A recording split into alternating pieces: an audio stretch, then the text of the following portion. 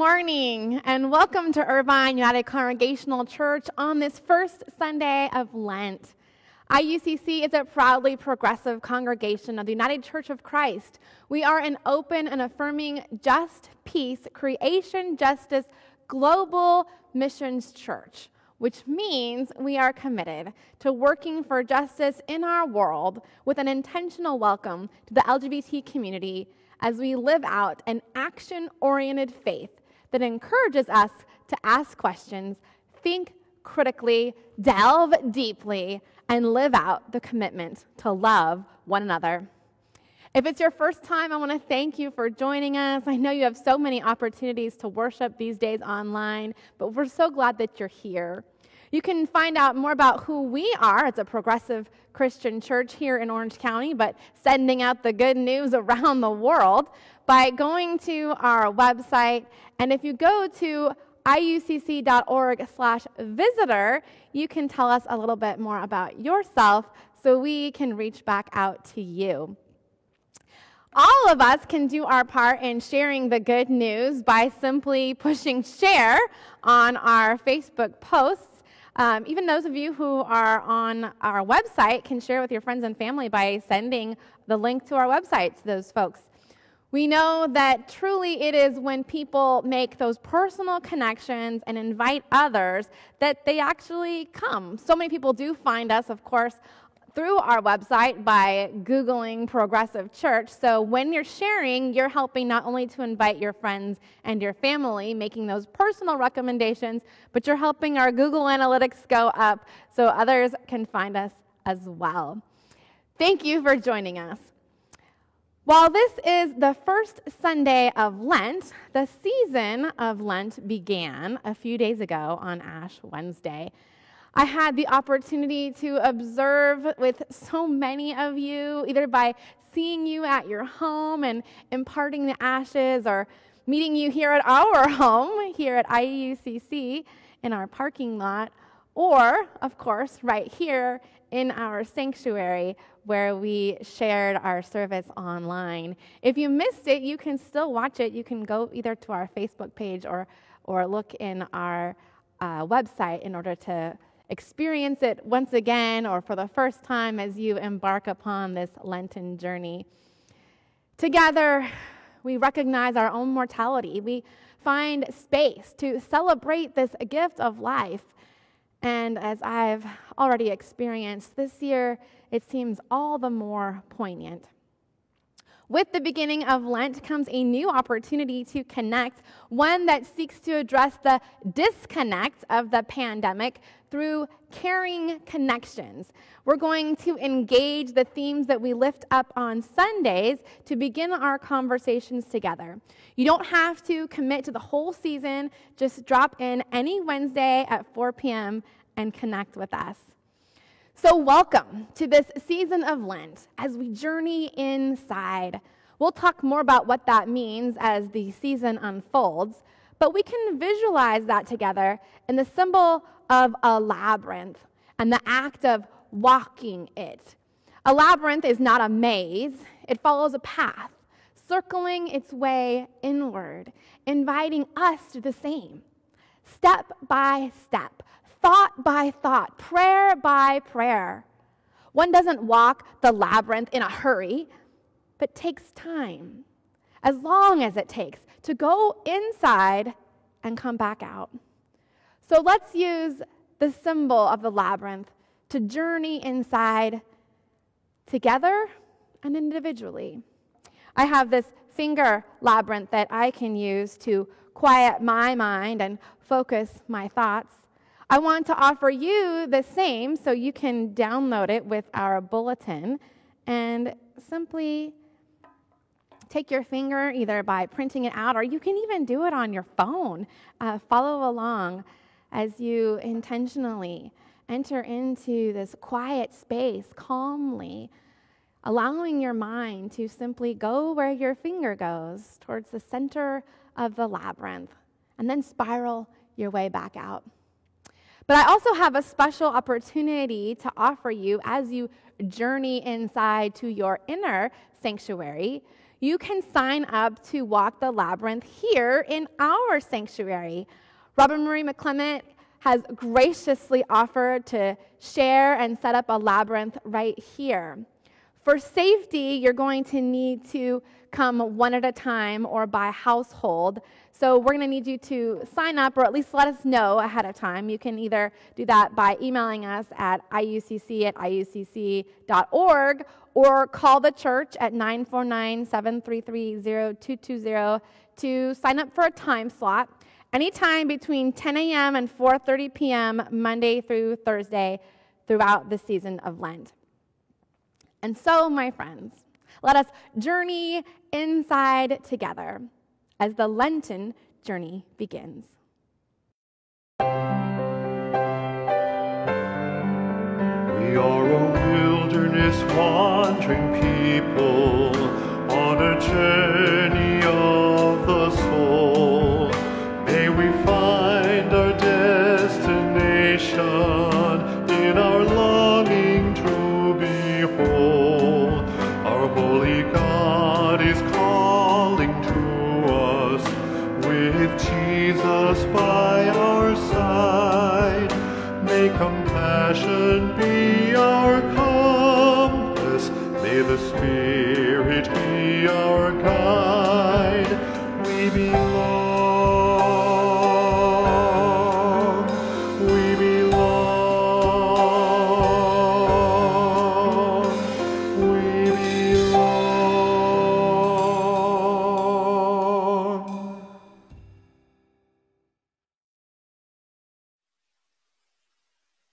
journey begins. Into the wilderness we make our way. asking the questions that lead us more fully to you. Looking within, we seek to more fully understand ourselves, looking for the divine in us, fully aware of our inability to fully know you. Still, we come with a mere intention to try, Starting with the mystery and ending there too, The journey begins, our eyes held fast to the cross. sojourners Sojourners of of faith, faith, we take our first step first steps into, our journey, inside. inside.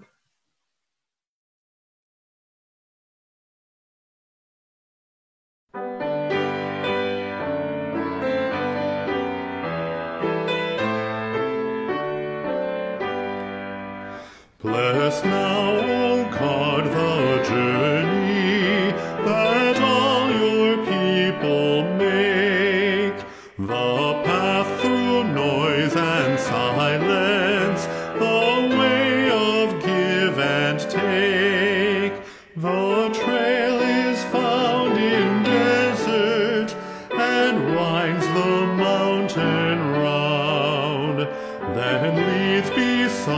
still waters, the road where faith is found.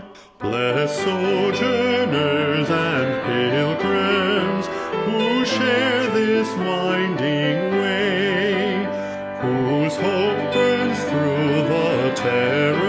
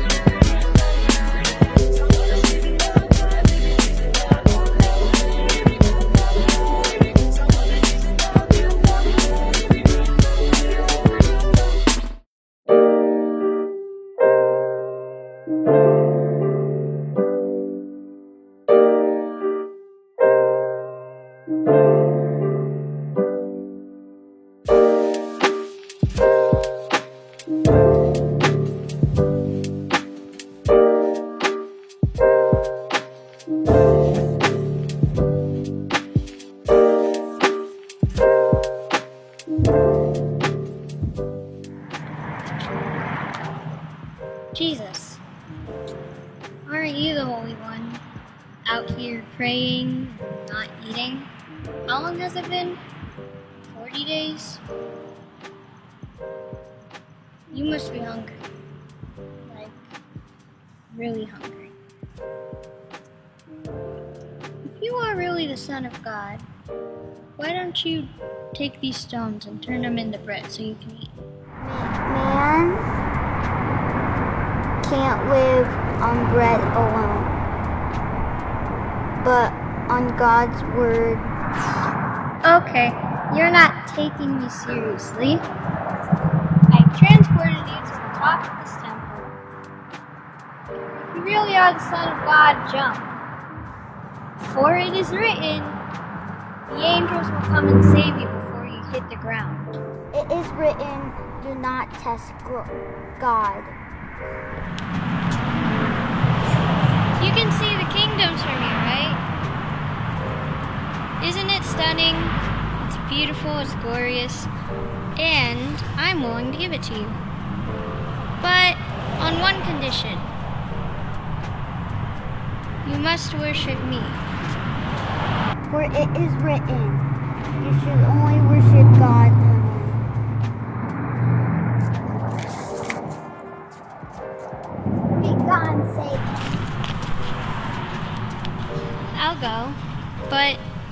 you haven't seen the last of me.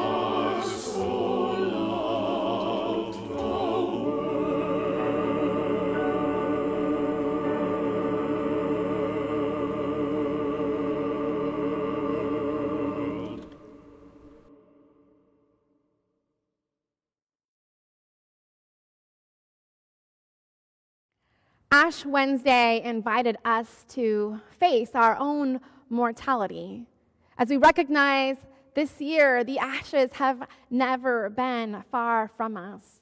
We are so aware of death, illness, and suffering in our world.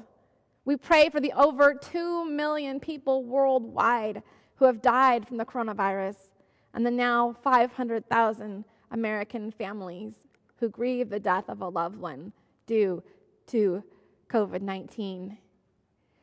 The number is almost unimaginable, and yet, as we say every week, none of us is unaffected. All of us are worried or grieving or loving someone who has been infected. And so, as we enter into this time of prayer, we will lift up the names that we know and imagine those we don't as we embark in this safe space together. You can do so by writing names in the comments or saying the names out loud to our God, and we'll share in this space and then conclude our prayer by saying Jesus' prayer together. Let us pray. God of life and death, journeying with us from birth to death, inviting us deeper into relationship with you. We journey inside to find you in us, ever present, ever loving. We quiet our minds and we open our hearts and we pause to listen to encounter, to experience you, Emmanuel, God with us. We recognize our own mortality in ways perhaps we hadn't before, and yet we also know that your divinity is in us.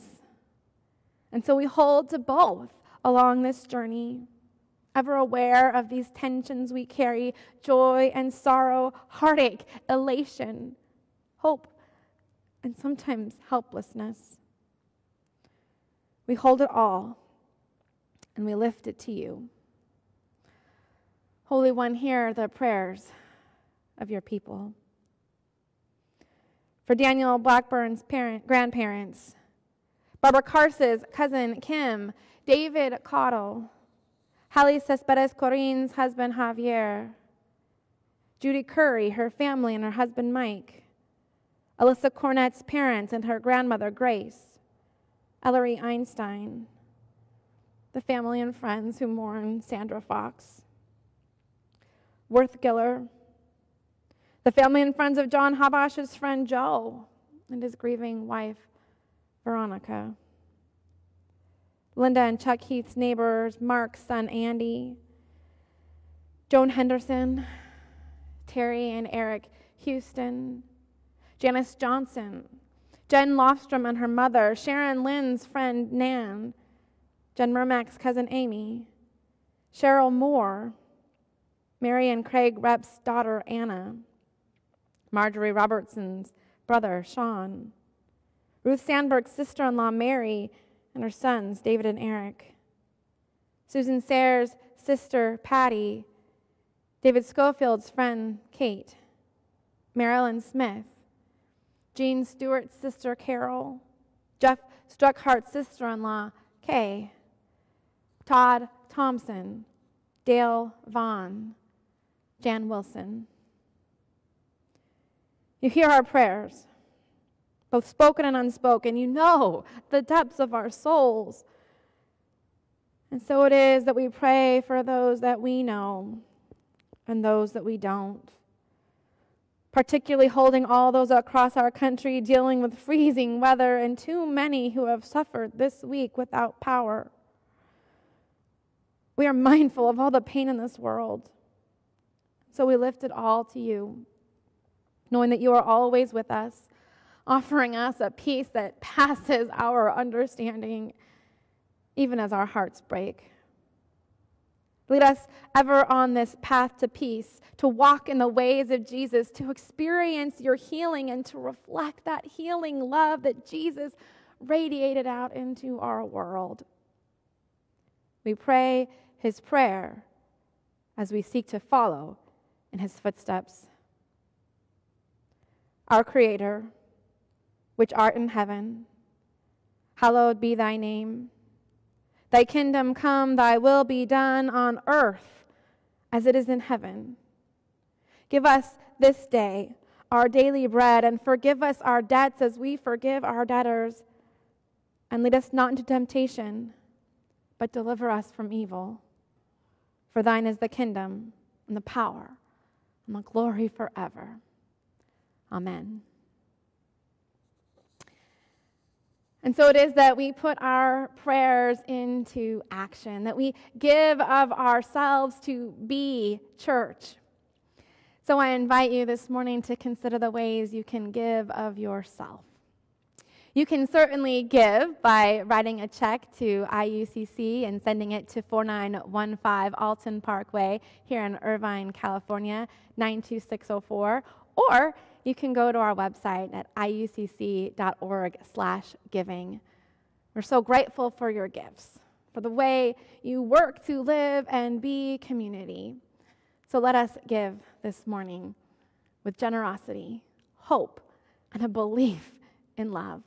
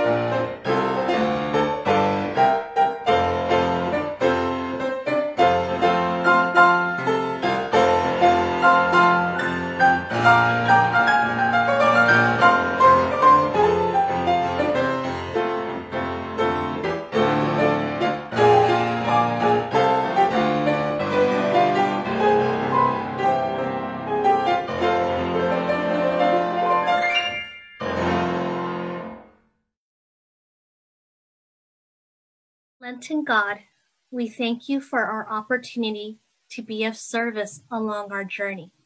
We offer these gifts as our commitment to walk the path towards the cross, to follow Jesus along the way, and to journey together as your church. Grateful for the generosity of your people, we give in gratitude to you. Amen. And now a reading from Luke chapter 4. Jesus full of the Holy Spirit, returned from the Jordan and was led by the Spirit in the wilderness, where for forty days he was tempted by the devil. He ate nothing at all during those days, and when they were over, he was famished. The devil said to him, If you are the Son of God, command this stone to become a loaf of bread. Jesus answered him, It is written, One does not live by bread alone then the devil led him up and showed him in an instant all the kingdoms of the world. And the devil said to him, To you I will give their glory and all this authority, for it has been given over to me, and I give it to anyone I please. If you then will worship me, it will all be yours. Jesus answered him, It is written, Worship the Lord your God and serve only him. Then the devil took him to Jerusalem and placed him on the pinnacle of the temple, saying to him, If you are the Son of God, throw yourself down from here, for it is written, He will command His angels concerning you to protect you. And on their hands they will bear you up, so that you will not dash your foot against a stone. Jesus answered him, It is said, Do not put the Lord your God to the test. When the devil had finished every test, he departed from him until an opportune time. 40 days and 40 nights, a journey into the wilderness, hungry for something more than food. Jesus went out to search his soul. Tempted by the stuff of this world, he searched deeply and he found something more A 40 day journey into the wilderness, a 40 day journey of the soul. That's what we've embarked upon. That's what Lent is a 40 day fast. Jesus sacrificed food. Christians long fasted from meat, from fat, from alcohol. We often talk of Lent as a time for sacrifice because of this. We choose then things to give up. 11 years ago, I gave up meat for Lent and I've never looked back. Oftentimes, though, my 40 day fast couldn't end fast enough. Of course, like so many, I've often chosen to see Lent as a time to take something on, a spiritual practice, an intention, sometimes even a theological perspective. We all talk about last year because it was the lentiest Lent of all. We gave up so much, and it lasted way more than 40 days.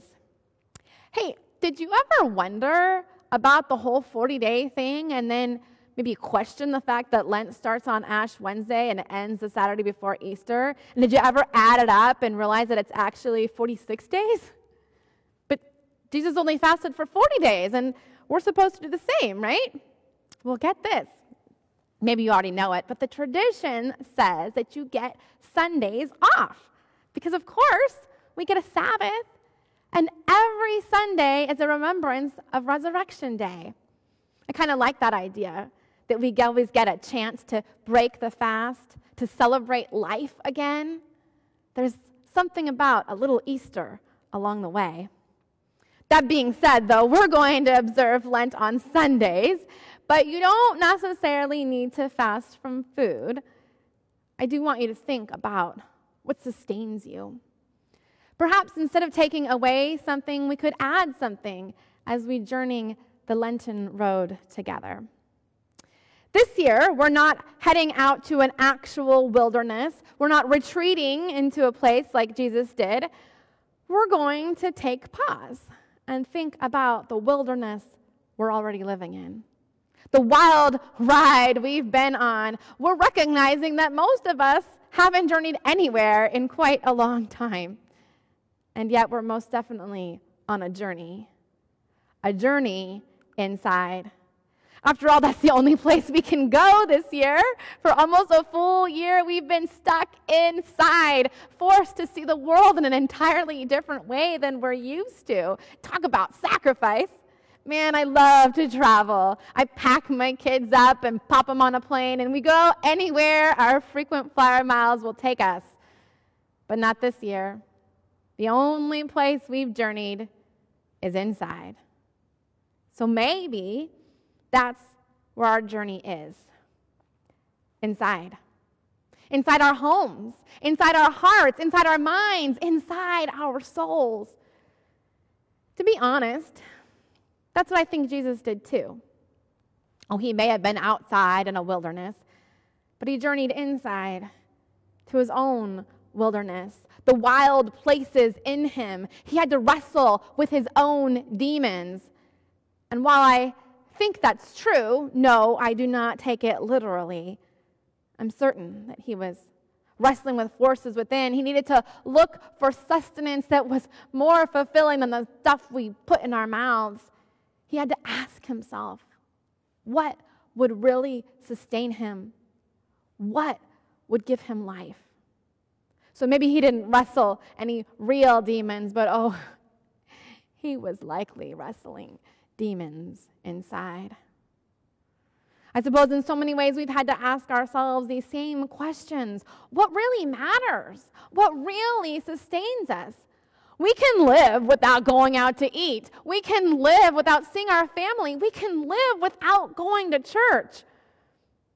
We've had to look at these walls that contain us and creatively seek sustenance within them even as we have intentionally reached out beyond them, connecting in creative ways. Jesus had to look beyond the norm to be nourished too. He had to journey inside. So while Lent is the beginning of a journey, in so many ways, it's an extension of the one we've been on this journey inside. So it only makes sense then that we should recognize it and even embrace it. You know, they say you have to embrace the hard things to get through them. Well, I don't know about embracing them. But in this case, I think we should at least name them. We can't ignore them.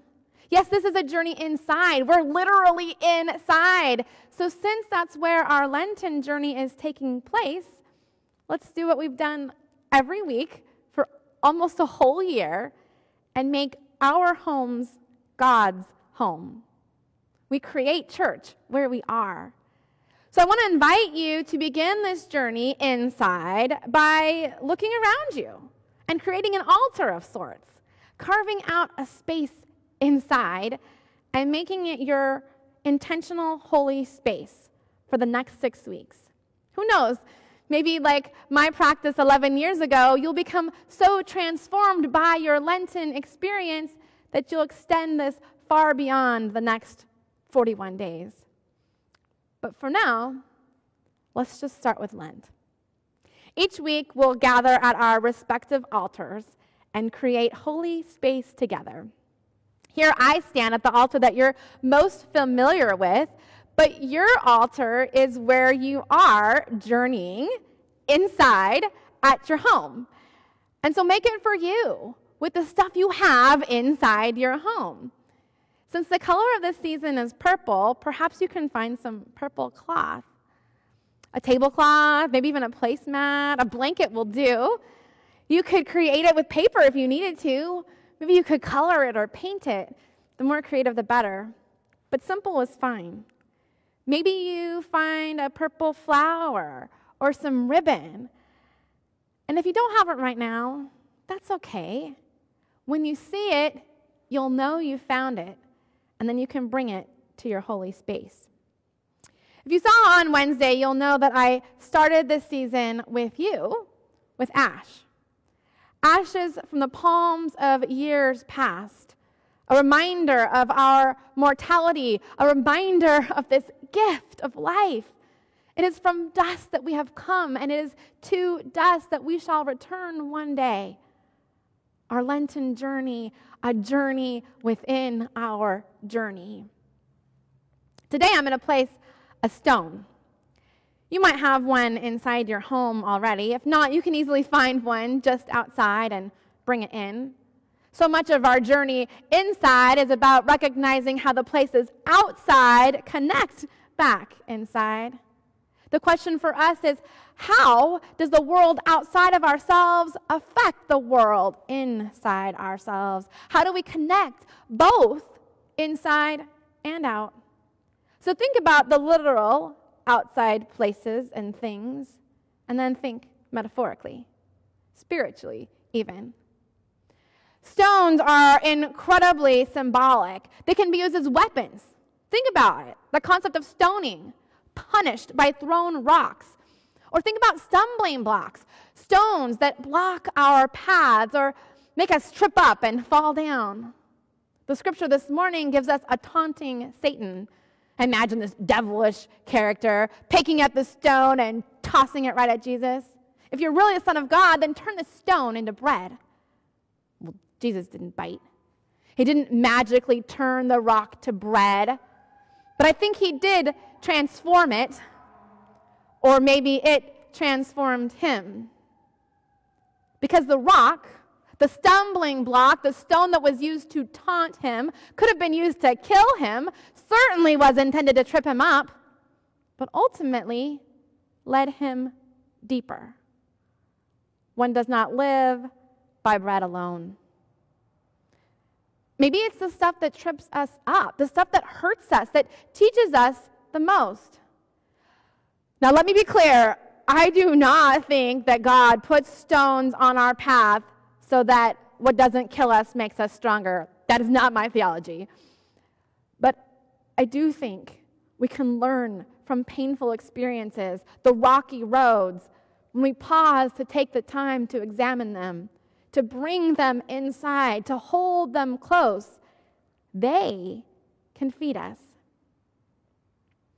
Now, those stones have some negative imagery attached to them. They also have strong biblical imagery that is positive as well. Think about it. Jesus renames Simon Peter, Petros, the rock.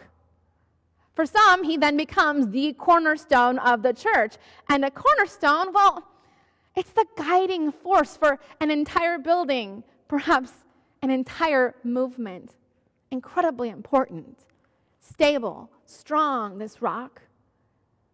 So I wonder about the stones in our lives, the rough places, the jagged edges. I wonder what happens when we bring the stones inside or we recognize the ones that are already there. What if we embrace them or at least face them the way Jesus faced his demon? What if by giving them a place at our table, they stop working against us? Maybe they can be transformed into something that can actually sustain us, even ground us, and give us strength. So think about your stone. Bring it to the altar, hold it in your hand, feel the weight of it, and then set it down. Let it be. Its heaviness is there, just like the heaviness of our world. We won't ignore it, but we also won't give it more power than it deserves. Jesus didn't ignore the demon that shows up in his wilderness. No, he faces it. And rather than end up bashed against the stone, Jesus doesn't feed the demon. The demon gives up and leaves because Jesus is not tempted, nor is he afraid. That doesn't mean that we shouldn't have fears or blame ourselves when we do. But it means that there's a place in our lives for heavy, hard, scary, and fearful stuff, and we can bring it all to God.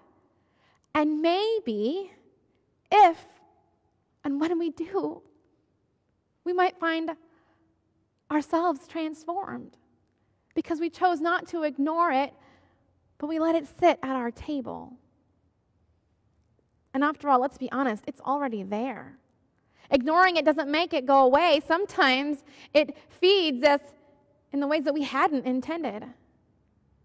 But since it's already there, let's not brush it into the darkness, but bring it into the light. Acknowledge its presence among us. And by bringing it into our holy space, we let God begin to work at healing while we do the same. As it happens, my stone came from Tom Silk's garden. I visited him with ashes on Wednesday, and he gifted me a stone. It's purple, the color of Lent, and on it it says, Wisdom. Wisdom. May our stones bring us wisdom the journey inside begins. Amen. And so, brothers and sisters, siblings in Christ, go out into a world broken and hurting. Go inward into a world that's often broken and hurting too.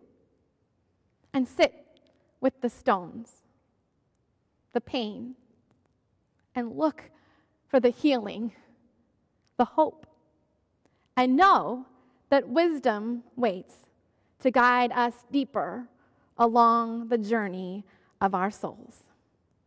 Amen.